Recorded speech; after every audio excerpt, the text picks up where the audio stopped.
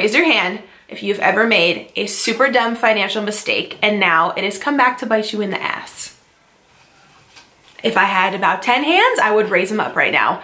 What's good? What's going on? Welcome back to my channel. Thank you guys so much for being here. Today's video is gonna be underneath my Boss Babe playlist. If you've been following me a while, I've made multiple videos on how I've saved money, how I've improved my credit score, and a lot of really positive changes I've made in my life, physically, mentally, financially, um, just with the intent of helping you guys. That's what my entire Boss Babe playlist is dedicated to. But I had this video idea, um, and it's something a little different. Let me know if you guys like the overall like theme and topic, but I thought it'd be really cool to kind of make an opposite video and just sit down and be super transparent with you about poor financial decisions that I've made, which yeah, years later can definitely come back and bite you in the butt, or you have to use some of your savings to pay off old stuff and just poor decisions that I made in the past that I do not want you guys to have to go through. I researched this video topic and there wasn't too many people actually talking about it. I know no one really likes to admit that they messed up or share and be really vulnerable about something like poor that they did. Uh, but you guys know I have improved my credit so much over the past few years. I'm currently saving to purchase a home and I'm in a really good spot right now. And if I could go back and tell myself the top financial advice that I have and I had someone to kind of guide me along the way, that would be such a blessing. Like I would give anything for that. So I wanna be that for you guys. I hope you're appreciative that I'm kind of willing to share all of this. Let me know in the comments down below the best and the worst financial mistake that you've personally made. If you're willing to share, we can have a discussion in the comments. I would really appreciate it. So a lot of you guys know I've been wanting a new car here for a hot minute, uh, but I haven't actually been able to make that purchase yet due to some financial decisions I've made in the past. So my current car, my GMC Terrain, which I purchased over two years ago, was $30,000 MSRP and was probably the worst financial mistake I've personally ever made. I was in a position at the time where my credit was not good. Um, I believe it was about five, under 550 um, and I had an accident previously, so I had no car. So when I went in, I basically took whatever interest rate they approved me for, which was an insane interest rate that I should have never signed for. In my opinion, you should never really sign on a car that's maybe over, like even five, six, seven percent is high. My mom actually just got approved for a car with like 0.8% interest because her credit is amazing. I know not everyone has like that perfect of credit, but these car, car dealerships that try to get you on 12 to like 28% interest is insane. That's a huge huge tip I have for you guys. Do if if you can help it, I know a lot of people are in the spot where you need a vehicle and your credit might not be that good and that's all you can get at the moment. Or if you do have to sign for a super high interest rate like that, please, please go refinance through a credit union as soon as you can. They offer the cheapest rates.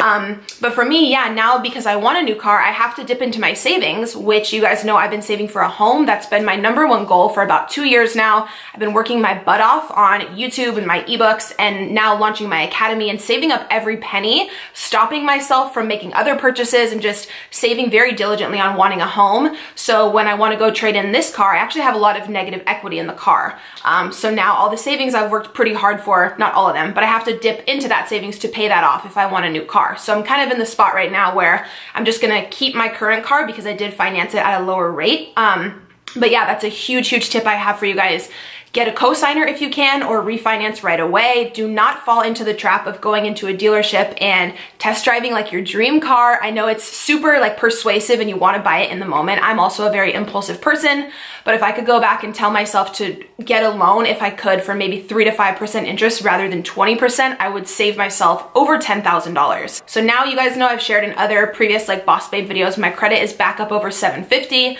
At its worst, I think it was around like 470, so it's almost a 300 100 point increase that I've done in two years, which is crazy. Humongous shout out to Credit Sesame. I have teamed up with them on multiple Boss Babe videos. They are an absolutely incredible website and company which falls right in line with everything I promote on my channel. Their main goal is to help you guys improve your credit score. They tell you every single open account that you have, what your debt to income ratio is, how many hard inquiries you've had on your credit. They grade you from A to F in all these specific categories based on all three credit bureaus. They're an incredible website and resource to literally improving your credit score, which tumbles into improving your whole life. You can't get a condo, an apartment, a car, approved for a home. You can't get any of that without a good credit score. So huge shout out to them. You guys know I've mentioned them so many times because I truly believe in their website. They always hook you guys up with a completely free account to log in and view your credit score, view what is on your report. You can print it out. They actually give you action steps to better your credit score. So if you're younger, you're maybe starting out with no credit, or maybe you're older and you've made some poor financial mistakes and you've been a little scared to check your credit, trust me, log in, find out exactly where you're at, and then make a an actionable, make a plan to actually improve that score. So I'm gonna have that link down below for you guys. I really always appreciate them teaming up with me. Again, falls right in line with everything that I teach already in my Boss Babe series. So please be sure to check that out. Um, so yeah, now that my credit is so much better nowadays, you guys know, like I said, I've been saving up for a home. Um, so probably the worst financial mistake, like I said, was signing on an extremely high interest rate on my current car because I do have that negative equity. So when I'm ready, um, I went to go check out a car last week, but I did pass on it just because the overall deal was just gonna be too pricey and I do wanna keep purchasing a home as my first priority. But when I do wanna get a car, uh, down the line, maybe in a few months or whatever, I am gonna have to use some of my savings to pay off that negative. Um, so that's just a huge thing I would advise you guys against if you can help it. Another financial mistake that I've personally made in the past was, I believe before this apartment, I've had three other apartments total, and I did finance some of the furniture that I bought. I know this is a great option for many people if you're first moving into a new place and you have nothing. Um, I know places like Ashley and Jerome's, they offer you, I believe it is 0% interest if you pay it off within three to six months.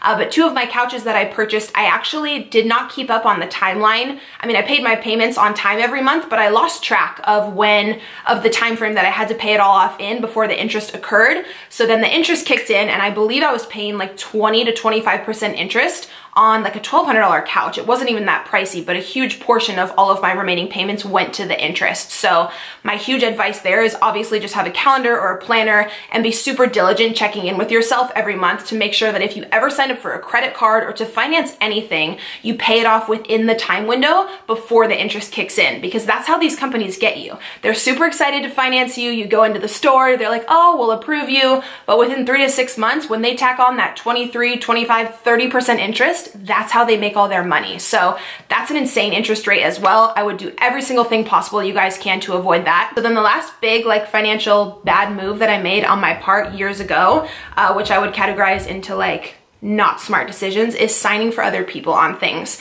So I did live with one person about four years ago. Uh, I put a phone and some utilities and I don't exactly remember what else, but it was multiple accounts. Oh, Spectrum, Electric, certain things under my name because a certain someone else didn't have very good credit. Uh, and then when we separated, moved out, they said they would pay, you know, the portion of what they owed on those accounts. They didn't. Um, and I know it's really easy to get like trapped in by friends and family if they need your help. I'm very like giving and open person as well. If someone needs my help, I feel really bad saying no. I really want to like help when I can and I truly feel like family should help family. So don't like get me wrong here, but you have to be so, so careful, especially if it's a relationship that you're in or a relationship that you've been in a really short amount of time. Be sure that you're gonna be with that person super long term or forever if you're gonna, you know, join accounts together because when I didn't have money at all, I had just just had Christian, I was making pretty much, I mean, all right money, but nothing great at Verizon. All my money was going to daycare and my rent. I didn't have any money left over. So when I split up with this person and then there was all this debt on those accounts and my name and my social was on those accounts and I couldn't make the payments, I was late on a few of the payments and on some of them I couldn't even pay off till like a year later. That's what actually first spiraled my credit into a downward spiral and I went from 700 to like I said like 480 was at my worst.